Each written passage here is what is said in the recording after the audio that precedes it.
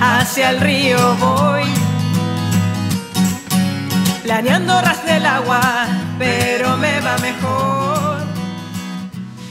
Lúdica, con un mensaje ecologista que invita a la protección, protección del, del entorno natural, nuestro, teatro, música, artes visuales, con un sentido de, pertenencia y educación. Hoy en Río de Música, mi historia, mi música, la cantárida. Bienvenidos chiquillos. Hola. Hola. Muchas gracias por la invitación. Hablamos con Daniela López. Jiménez. Jiménez López. eh, Dani JL. Ajá. ¿No es cierto? Y con Guillermo Vázquez. Eh, cuéntanos, cuéntanos un poquito, vamos a tratar de hacer un, conocernos individualmente, un poquito, ¿no es cierto? Eh, y empezamos con, contigo, si te parece. si nos puedes contar un poquito los primeros recuerdos en relación a la música, desde que de pequeña, ¿no es cierto? Uy. Em, bueno, mi, mi historia de vida ha sido como pasar por varios paisajes de todo el sur del norte de Chile. Eh, empecé en Antofagasta, mi infancia, después pasé por Santiago, Valdivia, Coyhaique. Y desde pequeña me gustó mucho el, el ver a, mis, a, mi familia como vinculada a algún instrumento. Si bien eh, mi papá es músico, mi mamá sabe tocar guitarra y mi tata, eh, eh, mi abuelo como paterno, materno, perdón, eh, también era muy músico. siempre me vi influenciada por, por grandes artistas desde la música orquestada. pero todos eran hombres y me costó mucho llegar a, como que me pasara una guitarra o alcanzar el instrumento. Y, tuve una experiencia por ahí que era como cantar en el colegio. Y ahí ya me preparé todo, mucho. Yo consideré que ese fue como mi debut, mi gran debut, porque ahí fue como me escucharon, vieron que me gustaba cantar aunque siempre me gustó más el poder tomar una guitarra más que el cantar, porque cantar igual es complejo, requiere de, más exposición, siento, que el instrumento como que vas simbióticamente con otro, con otro, con un sonido. Bueno, yo me presenté en esta experiencia de subirme a un escenario cuando chica en el colegio y me fue súper mal, mal, mal, mal, que cuando me bajé del escenario yo quedé así como esto no, no, no, no, no sé si es lo mío, pero sí me gusta mucho, así que había que esforzarse un poco. Y ya como a los 13 años dije, yo tengo que buscarme mi profesor de guitarra. Y ahí lo empecé a buscar y me metí a unas clases así como sin pagar. Hasta que el profe dijo, ¿sabes qué chiquilla va a tener que pagar estos cursos? Así que hablé con mi papá y ahí mi papá dijo, ah, entonces esto es en serio. Sí, sí, en serio.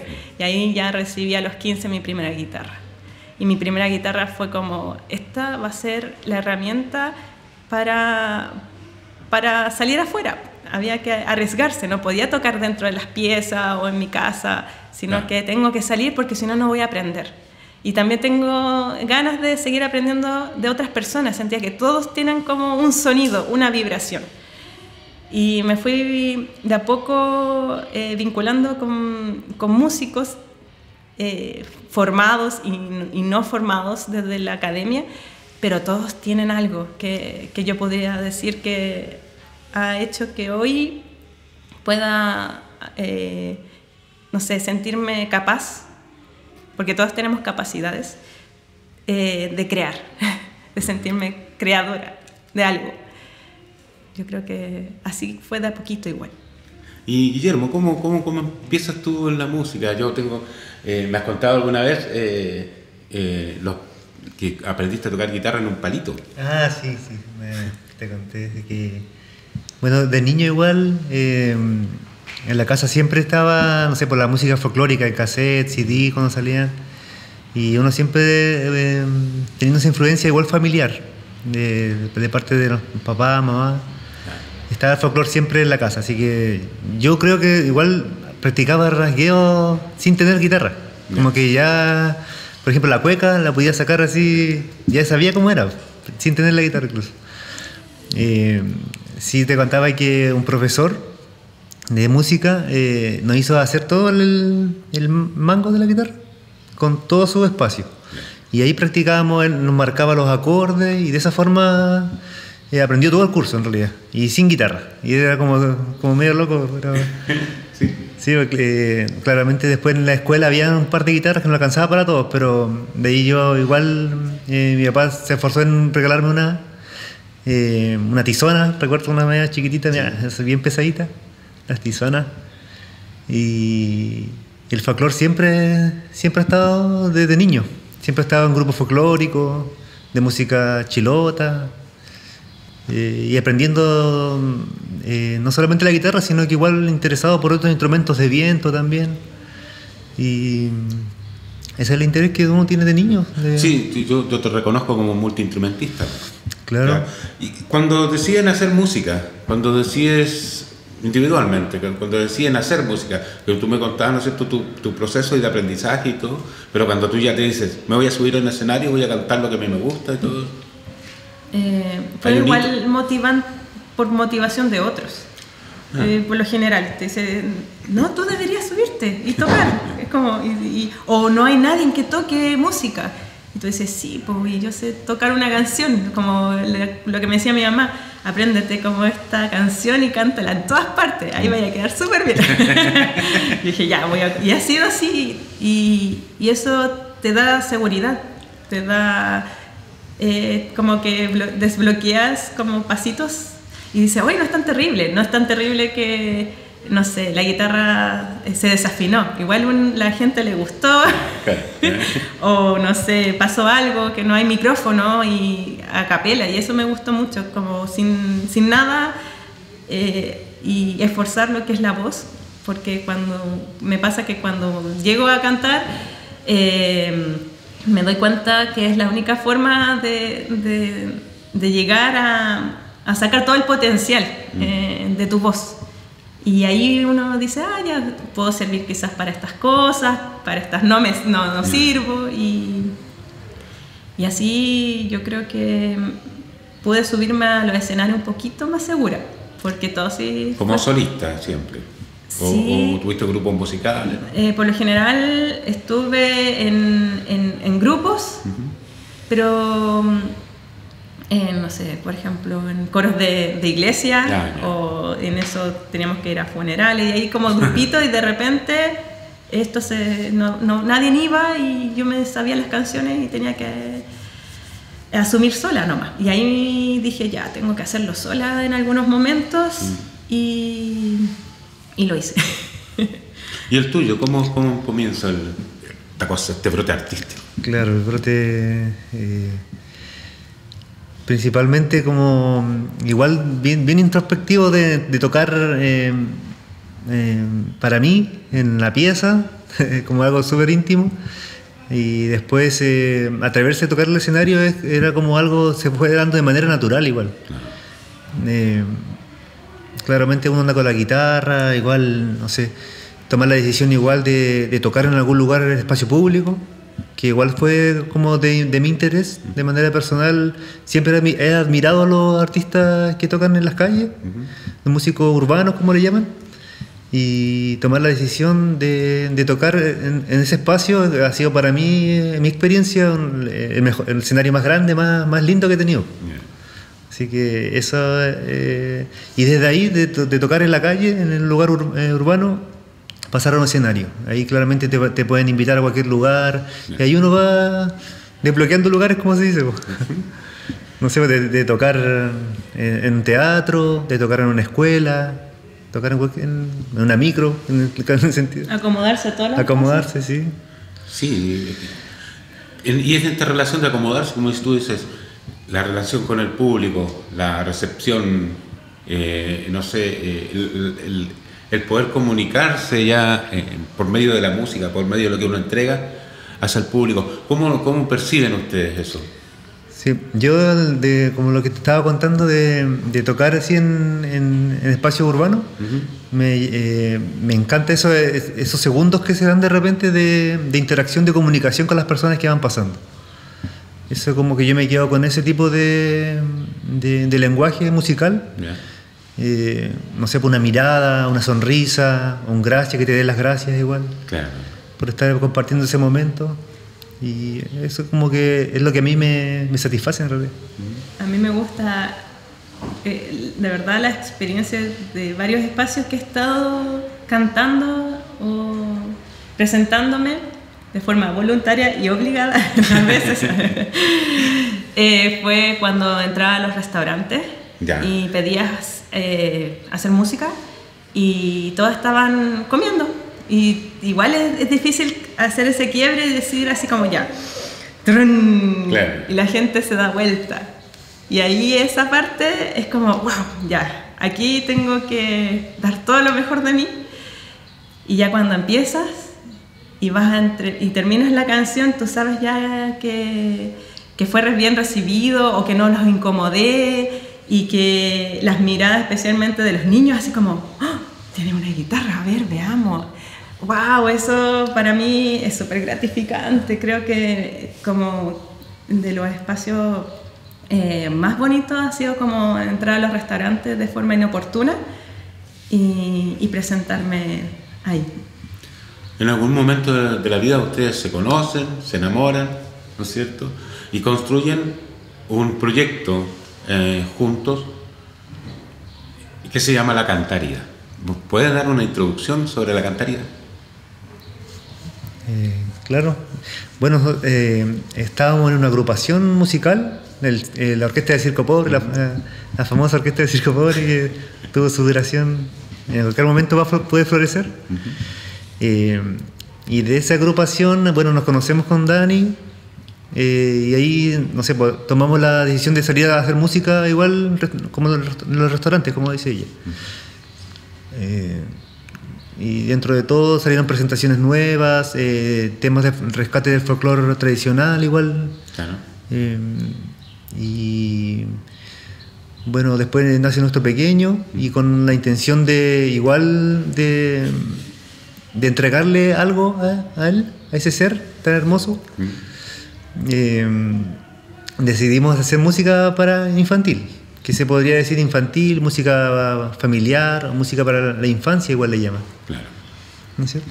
Sí, la cantárida nace de repente así como de, netamente de la necesidad de hacer música para los niños y niñas y también nos dimos cuenta que había situaciones en que nosotros decíamos, oh, sería entretenido hablar sobre el submarino de aquí de Valdivia. ¿El submarino ¿Sí? es negro? ¿Qué hace un submarino aquí en Valdivia? Qué extraño, ¿no debería estar en el mar? Mm, sí, y ahí caminando decía, oh, podría sonar así, ¿qué hace aquí un yellow submarine? así como, sí, sí, sería black un black submarine. Black claro, un black submarine. Y después de eso decíamos, oye, ¿cómo se llamarán estos pájaros? Claro, llevar, llevar un poco de, de, la que, de, de humor igual en, dentro, Claro. de, de hacer música así como que sea entretenida, eh, lúdica y todo. Y nos dimos cuenta que es, estas temáticas que empezaron a salir desde las cosas eh, simbólicas de Valdivia, eh, podía ser mucho del interés de, de todos en realidad, y, y más aún de los que habitan desde pequeño acá como los niños y niñas que llevamos aquí nosotros Claro. adentro. Y también eh, oficialmente podríamos decir que la Cantaria nace también en el Día de los Humedales, porque nos presentamos el 2 de febrero, cuando nos, nos invitan como, como dúo, y ahí tuvimos que decir, oye, tenemos que ponerle un nombre y tenemos que hacer una canción nosotros. No podemos andar cantando también, porque nos gusta igual cantar canciones eh, de, otros artistas, eh, no sé, de música para la infancia. Como María Elena Walt o hasta Mazapán está dentro de nuestros eh, repertorios. y también algunas otras canciones folclóricas, pero decíamos, ya, es el momento. Y nuestra primera canción fue es cantarle a los humedales en el Día Internacional de los Humedales. Y ahí dijimos, ya no podemos quedar con una canción nomás, tenemos que hacer otra. Y salieron solitas, solitas, solitas.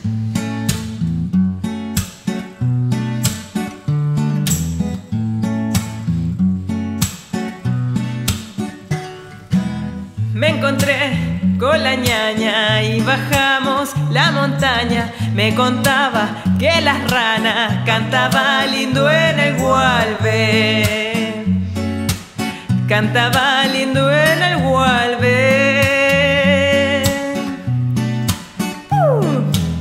En el lodo se encontraban camarones y cormoranes y las garzas todas juntas, muy felices los humedales. Muy felices los humedales.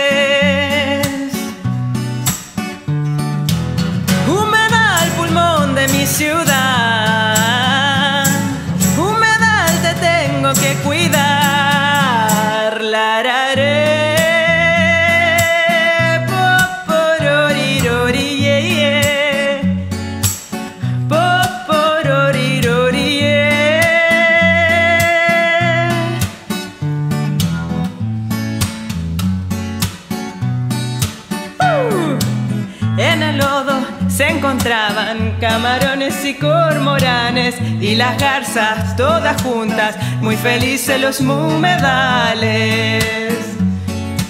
Muy felices los humedales. No permitas que esta fiesta se termine con el cemento ni basura de humanos que no quieren este regalo. Que no quieren este regalo.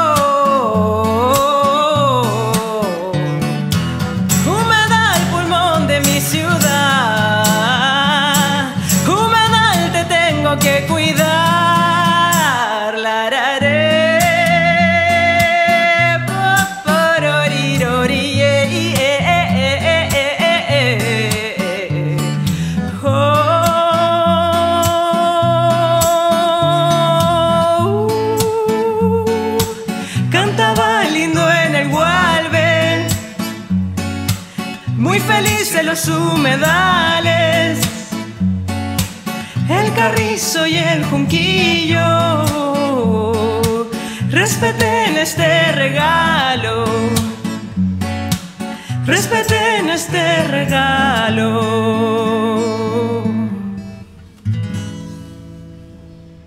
Cuando construyen la cantárida, ¿no es cierto? Hay influencias de otros, eh, no sé, músicos o músicas, o los traen desde, desde, desde su eh, estilo, digamos, propio, y los mezclan.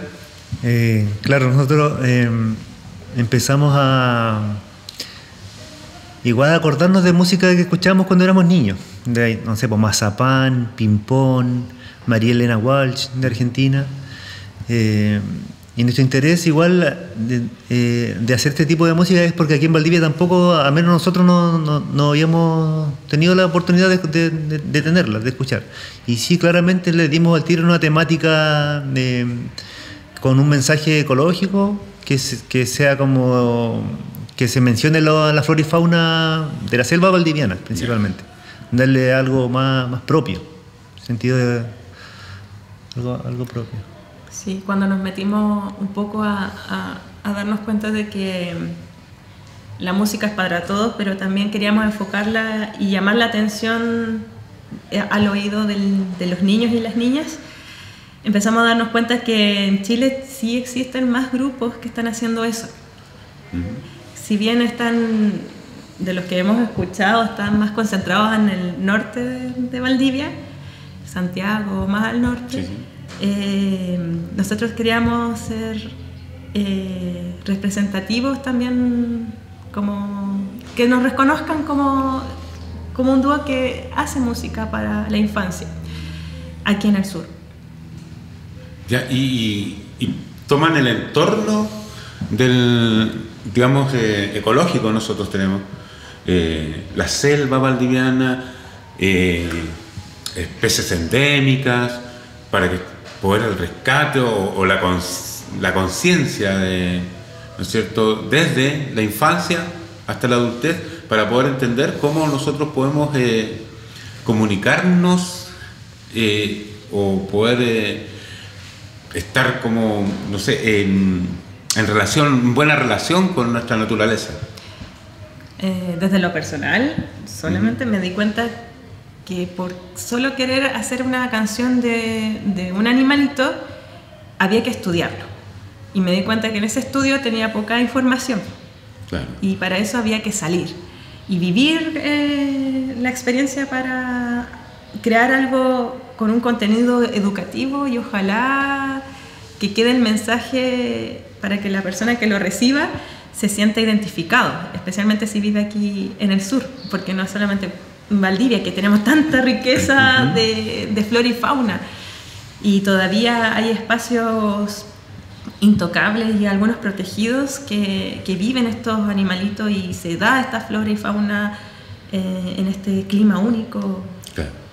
Y aprovechar eso eh, tuvo, tuvo harto trabajo de estudio preguntándole a los profesionales del área, por ejemplo, no sé, gente de recursos naturales, veterinarios, gente que trabaja en... Claro, para dar una, en las temáticas de las canciones, dar una información que sea eh, fidedigna, se podría decir. Claro. Que sea educativa principalmente. Educativa. Que se pueda aprender con las canciones, que, que se pueda conocer la forma de vida. Eh, de, las distintas especies que existen. Sí, y hay muchas personas que hacen diferentes formas, eh, acerca la naturaleza de distintas formas de, del arte, pero en la música no habíamos encontrado, claro. como para inspirarnos. Aquí eh, hay varias, eh, ustedes toman varias cositas de, las, de todas las artes, ¿no es cierto? como es eh, la pintura, fotografía, el teatro, no sé, porque tú eres muy, muy histriónica, entonces yo te conozco. Y entonces hay, hay harto teatro, hay harta performance, hay harta puesta en escena, eso es lo que yo he visto. Entonces están trabajando en eso, construcción de, de, representaciones de, de, los animalitos, ¿no es cierto? Cuentos, poesía, hay mucho de eso. ¿Por qué? Claro, eh, como para enriquecer una presentación, eh, nosotros decidimos, ya que tenemos la, por ejemplo, la Daniela, eh, muy buena dibujando, y ella claramente se dedicó a hacer los dibujos de cada especie, y en cada presentación no se, se le entrega al final a los niños, a familia, eh, un dibujo característico para que puedan pintar y, reconocer más el hacer propio después lo llevan a su casa no sé lo pegan en algún lugar y lo estudian no o lo pueden complementar con lo que le están lo que están pasando en, la escuela. Eh, también los dibujos los hacemos con papel maché lo tratamos de representar y fotografías igual tratamos de que de, manera artesanal eh, la escenografía quede, quede bonita quede ad al momento cosa que se pueda trasladar uno igual al, al espacio natural de cierta forma. Todas las artes. Todas las artes. Eh, tratamos de ocupar, siendo que igual eh, todavía nos falta más aprendizaje desde el ámbito teatral. y así que también eh, una de las cosas que la Cantarida en algún momento se postuló para las escuelas de rock y ahí nos ayudó bastante para aprender ciertas áreas que nosotros no las teníamos consideradas para, para cosas de, de que la cantarida sea eh, algo, algo de verdad con contenido, con serio, pese a lo que se haga entre medio, pero muy claro, respetable. Y para eso hemos tenido que aprender hartas cosas que, que sé que en, en, las artes escénicas se enseñan, un poco harto autodidacta y eso estamos tratando siempre en, en, que se muestre cuando nos presentamos, que hayan, haya algún elemento entretenido, sorpresivo, porque eso a todos nos gusta, la sorpresa, la magia, eh, porque existe mucha magia en la cantaridad. ¿Por qué el nombre La Cantárida? Cantárida. bueno, la Cantárida fue porque eh, a los dos nos gustaba mucho la cantauria o la cantabria, que es un insecto. Eh, es un escarabajo. Un, escarabajo volante, claro, que, de tamaño es muy sorprendente verlo.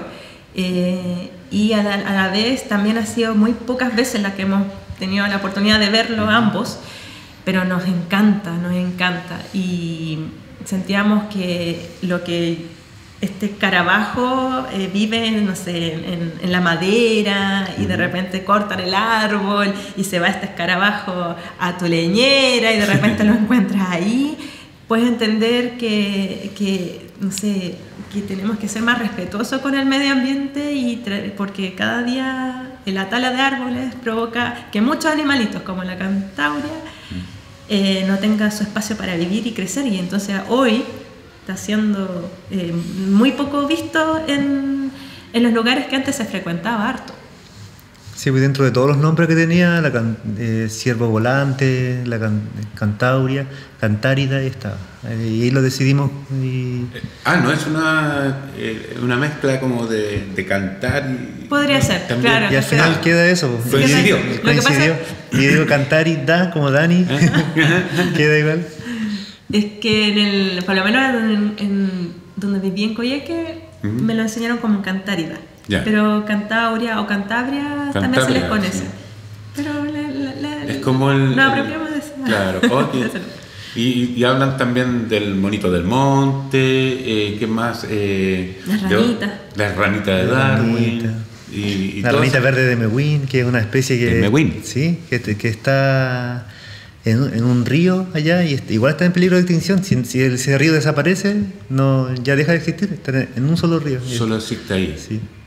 Cosas que nos iban informando, igual cuando nos invitan a presentaciones, recuerdo en San José, había una, eh, tuve una presentación y, habían no sé, pues, eh, fotografías de la ranita, diversidad, la esmeralda, la ranita hojarasca, eh, la moteada y la ranita de Darwin, que es la más conocida. Claro. Mucha gente de otros países vienen acá a conocer estas especies. Son endémicas. Endémicas, únicas. Especialmente el monito del monte que quedamos sorprendidos y nunca hemos podido ver uno y aún así eh, sabemos que está ahí, resistiendo ante eh, tantas cosas que están ocurriendo en su hábitat. Cuando ustedes comienzan eh, a, formar la cantaridad y decir, nosotros vamos a hacer de esto. Me decías que era un festival de los humedales. Sí, ¿sí? ahí empezó. Y de ahí empieza todo, eh, todo este trayecto y proyecto también en, en los escenarios de ir eh, fortaleciendo la, la, puesta en escena, ¿cierto? Con dibujos, con teatro, con máscaras, con, con trajes especiales y contando el cuento y cantando la canción. En estos momentos ustedes están eh, con este proyecto ya, digamos que ya formado, están, eh, se incluyeron en, dentro de un listado de, artistas que trabajan en, lo que es música y composición y todo lo que sea sobre para infantil, digamos. Sí, la cantaridad se esforzó mucho para poder estar incluidos en los creadores infantiles de Chile. Creadores infantiles de Chile. CRIM, sí. Eh, es, una, es un gremio, una agrupación de artistas eh, que, que se han organizado para hacer presente la música para la infancia. Y no solamente desde la música, sino también hay hartos artistas que se enfocan en la educación también en, temáticas específicas, eh, como, no sé, destinada a la cultura de sus pueblos, eh, de, aprender nuevos ritmos. Es tan variado, por eso esa plataforma o esta agrupación Creadores Infantiles de Chile eh, era importante que la cantarina estuviera porque sentíamos que íbamos a hacer un aporte.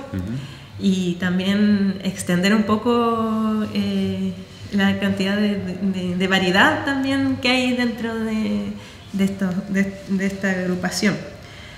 Y para ello igual eh, estábamos justo súper bien entrando, pero llegó la pandemia y tuvimos que cambiar varias cosas, proyectos que teníamos con ellos, también nos estancamos en algunas cosas, pero independiente de la cantaridad también aprovechó de hacer talleres eh, online, online, eh, ya como un poco más interactivo desde, desde un, grupito de niños eh, desde el otro lado de la pantalla, que tuvo una buena acogida y, y fue súper satisfactorio poder seguir haciendo algo dentro de este periodo tan especial. En este contexto, digamos, lo difícil que es eh, poder participar en otras ciudades, en otros lugares, ya digamos que eh, la pandemia ayudó un poquito en, poder fortalecer lazos con gente de muy, desde muy lejos por medio de, de estas plataformas, que no me manejo mucho, pero plataformas como Zoom, no sé, eso. Y, y, se logró eh, conocer gente nueva y, en eso y desarrollar también tu, eh, poder mostrar tu trabajo desde acá hacia otro, otras ciudades. Sí, sí, incluso hemos hecho eh, conciertos online, eh, que también fue súper positivo, pero no hay nada como el, el, estar presente con, con, el público, claramente. Había que adaptarse, pero igual nosotros decidimos en ese momento tan tranquilo, seguir creando canciones.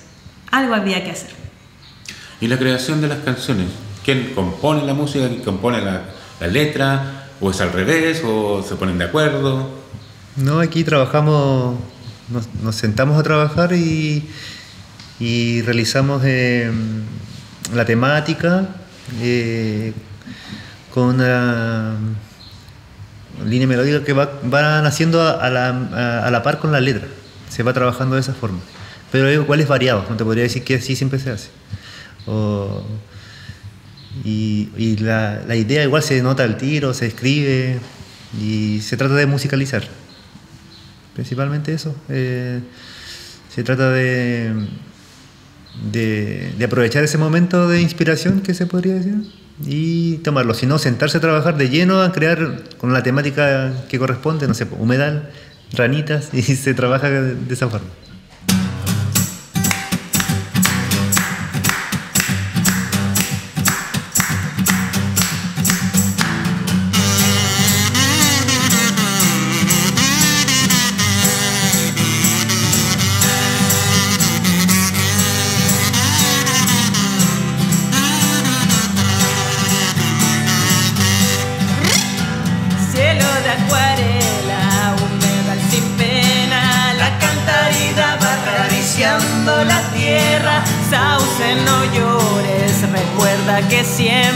Un siete colores te vendrá a visitar. Ya viene la lluvia, grita la bandurria. Lluvia, lluvia, lluvia, lluvia. Eh. Salpicando el barro en mis zapatos, la gente corre y yo me quedo contemplando las cosas que pasan cuando el agua avanza todos mis amigos van a hacer fuego a su casa. Ya viene la lluvia, grita la bandurria. Lluvia, lluvia, lluvia, lluvia. Eh.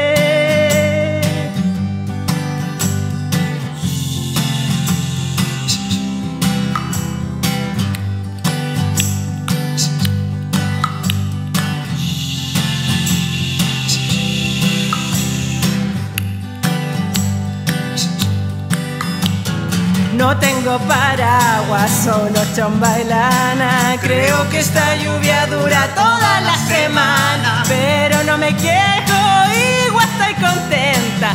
Aquí se dice que el que se apura pierde el tiempo. Ya viene la lluvia grita la bandurria. Lluvia, lluvia, lluvia.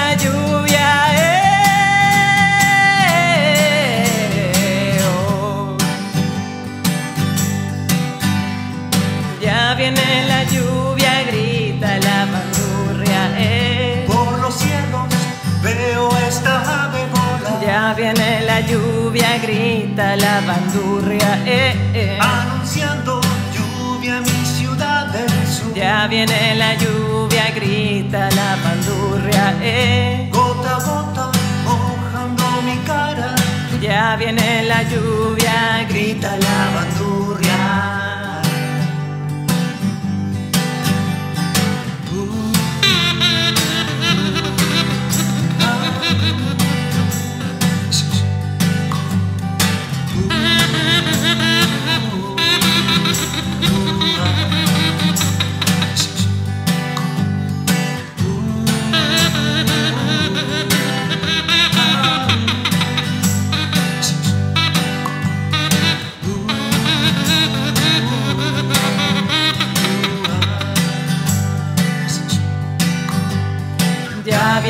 La lluvia, grita la bandurria.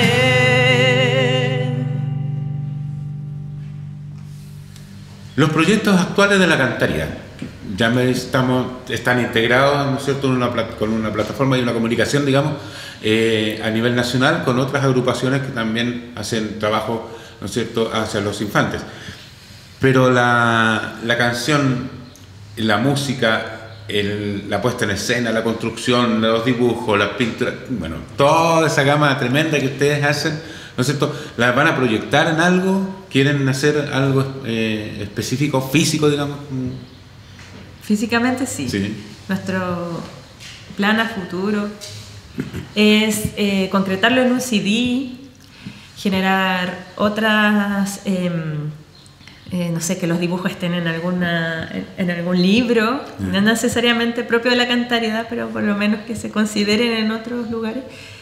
Y sí o sí tener un cuento relacionado con uno de los animalitos que nosotros le hemos cantado que hace que la cantaría tenga vida, tenga, siga fluyendo, independiente si les toca o no presentarse. Eh, estar lo más activo dentro de lo que se pueda, eh, encantando ojalá en otros espacios donde se nos invite. Principalmente eso, como, como dentro del presente, tirando para el futuro. El CD es muy importante para nosotros. Sí, justamente de eso. Eh, igual estamos preparando para, para hacer grabaciones. y no, no tenemos una fecha, pero ya al menos estamos eh, de manera autogestionada también. Porque igual hemos postulado proyectos de, para grabar CD, no, no hemos, no hemos ganado. pero tampoco no, no, no, no nos desanima. Eh, tenemos nuestro equipo de grabación igual que queremos eh, hacer nuestras grabaciones y, y presentar un trabajo igual de eh, que sea de buena calidad para, para el oído y, y la gente quede con un, con un grato recuerdo de nuestra, nuestra música. También buscar eh, presentaciones donde se nos inviten, estamos abiertos a, cualquier tipo de invitación.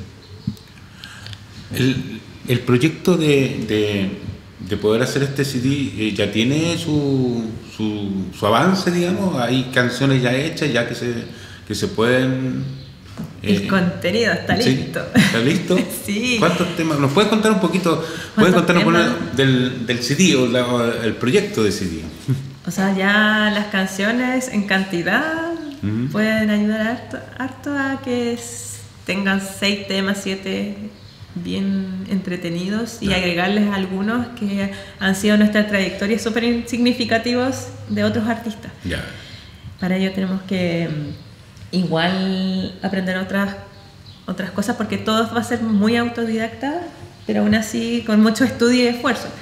Por ejemplo, eh, grabar en nuestro propio estudio, que tenga, no sé, la carátula de nuestros dibujos, eh, siempre con la ayuda, yo sé que de varios profesionales, pero el contenido va a tener mucho que ver con la flora y fauna. Quizá en un segundo CD, en otras cosas, puede llevar eh, elementos de la ciudad y así vamos viendo que tenga como un sentido y un contenido ¿Qué caracteriza? que se caracterice, sí. A, a la, a la cantaridad y a, a lo que queremos decir. Una agrupación o un dúo, ¿no? pero es una agrupación al fin, porque eh, se está planteando, ¿no es cierto?, eh, la idea de, de poder tener una puesta en escena de calidad, digamos, de, con, con buenos complementos. Al fin y al cabo, va a tener que o contratar a gente o conseguir más. eh, Más manos. más manos. Por ahí, Sí. vienen dos, ahí andan dos chiquititas que ya están ayudando bastante. Sí. Lúdicas, con un mensaje ecologista, ¿no es cierto? Eh, cuando tú dices sentido de pertenencia, es el sentido de pertenencia. ¿Qué es el sentido de pertenencia? La idea del sentido de pertenencia tiene que ver de que en tu colegio, cuando te hablen de hablar, no sé, de, de la palabra C, no digan, no sé, el caimán, Ya. digan el cormorán. ¿Por qué? Porque yo lo veo afuera de mi ventana o cuando paseo en la costanera. Sí, no sé, eh, conocer más de lo marino. eh, Los tipos de aves, las mismas ranitas, todo.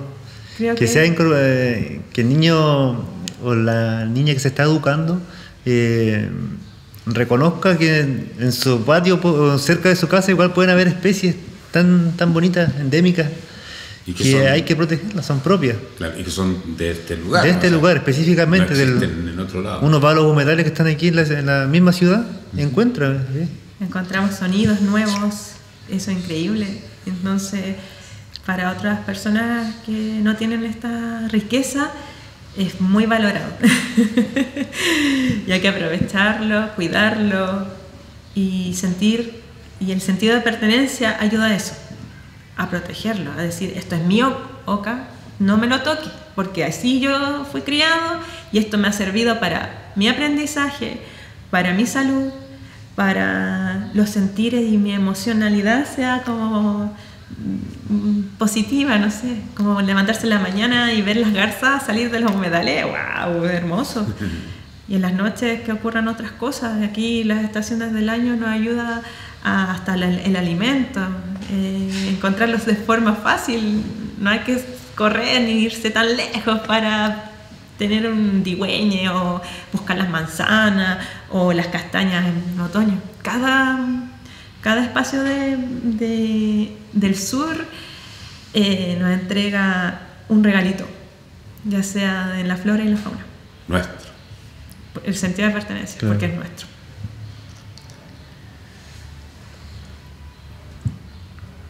Cantárida, ¿no es cierto? Eh, junto con, con Daniela Jiménez López, ¿no es cierto? Y con Guillermo Vázquez. Río de música, mi historia, mi música, su creación. Agradece eh, la participación de ustedes, el gran, la gran disposición de poder venir a acompañarnos y participar, ¿no es cierto?, en este proceso de varios videos en que estamos tratando de rescatar la creación de los músicos, de los artistas valdivianos. La Cantárida, muchas gracias, un gran abrazo.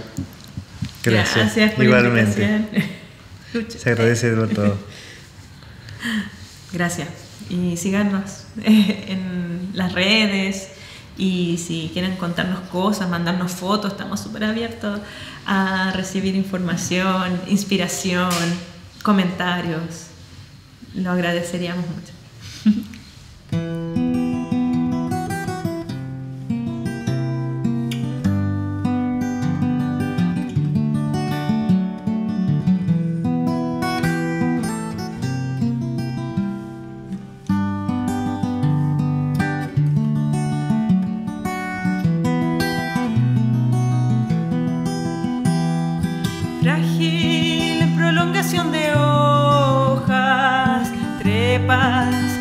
cortezas húmedas, tus ojitos, dos semillas que brotan sobre savia nativa.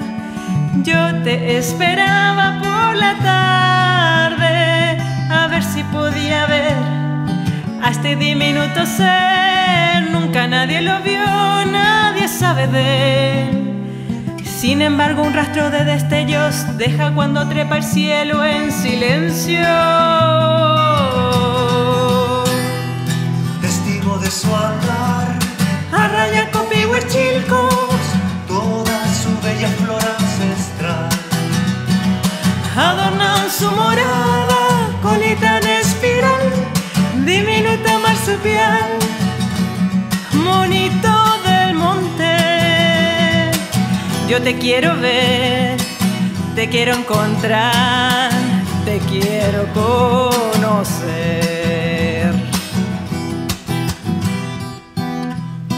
El monito del monte es el marsupial más pequeño del mundo. Habita los bosques del sur de Chile. Actualmente se encuentra amenazado debido a que su hábitat está siendo arrasado. Depende de nosotros cuidarlo y proteger.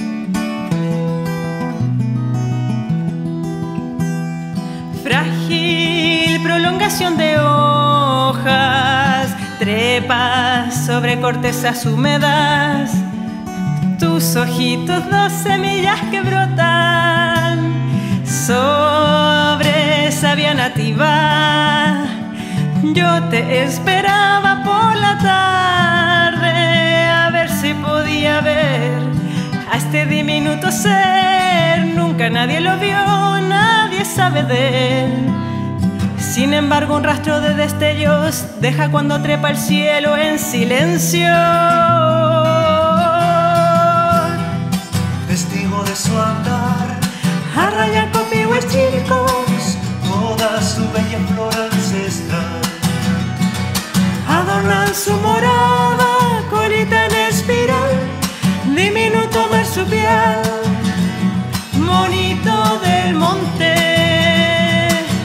Te quiero ver, te quiero encontrar, te quiero conocer.